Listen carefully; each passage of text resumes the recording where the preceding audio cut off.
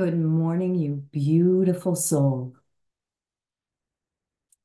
Today's inspiration comes from Glennon Doyle. She is an author and activist.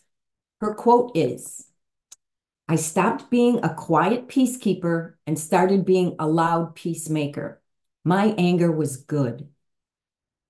This is something every woman who is committed to a spiritual life must come to terms with. While focusing on the positive and praying and envisioning change you want to see in the world are all good practices, very often our feet and voices are needed even more than our prayers.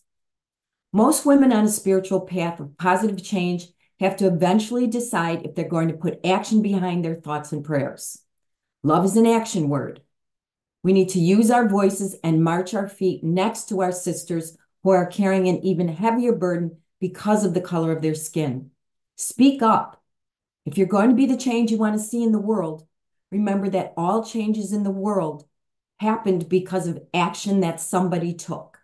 There is strength in numbers. Which side do you want to be counted on?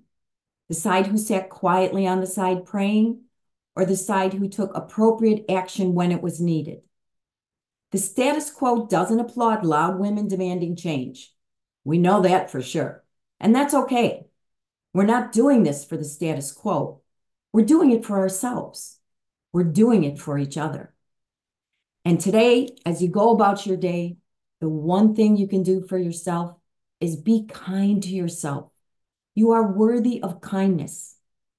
The kinder you are to yourself, the more mercy you will foster for yourself. And when you're being kind and merciful with yourself, you're fostering the ground for grace. And once grace comes, that's all you'll ever need.